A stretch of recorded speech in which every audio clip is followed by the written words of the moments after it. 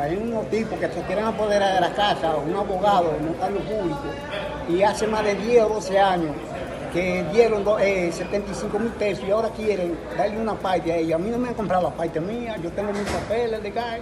¿A quién se la han comprado ya la casa entonces? Di que a un tipo en Taijaya, Pero la casa no es suya. la casa es mía. Para que me la, me, me la mandó a dar a mí. ¿Y quién vivía en la casa en la actualidad? La mujer, ¿La mujer de quién? la mujer mía.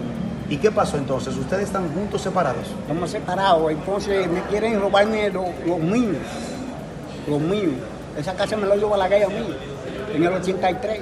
O sea, que ustedes se separaron y ella le está vendiendo sin su consentimiento. Sin sentimiento mío, ¿Dónde está esa casa? frente a la fortaleza. ¿Y qué le pide usted a las autoridades entonces? Yo lo que quiero es que me compren en mi derecho mío. ¿Qué entiende usted? ¿Que lo están entonces por estafar o qué? Me están poniendo robarme lo mío, porque esto es robarme lo mío. ¿Cuál es el costo de esa vivienda? El, el costo de la vivienda de ese entonces vale más de 3 millones y pico de pesos. Está, pre- está preparada para tres niveles y le metieron tres niveles a la casa. ¿Cómo se siente usted ante esta situación? Yo quiero ver a la magistrada para que la magistrada se encargue de ese caso.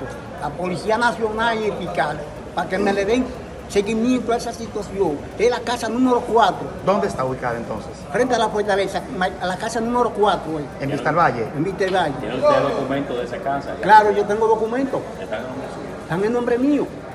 ¿Qué tiempo usted duró con esa persona, con su pareja? No, duramos casi 25 años. ¿Cuál es el nombre de esa persona? Eh, eh, nombre de la esposa mía, Juana Reyes Guillón, Esa era, era su esposa. era. Bueno. No, la mamá de los hijos míos. ¿Tienen varios hijos ustedes? Tenemos siete hijos. El varón lo tengo yo. Ellos son herederos. Sí, pero que ellos han vendido la parte que no es mía. Vemos que usted en estos momentos está llorando. ¿Por qué? Porque ¿Por qué llora?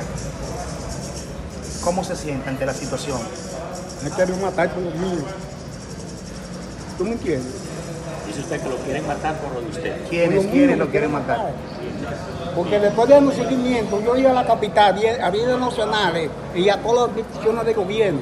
Y quiero que me ayuden como sea. Porque tengo mi documento aquí.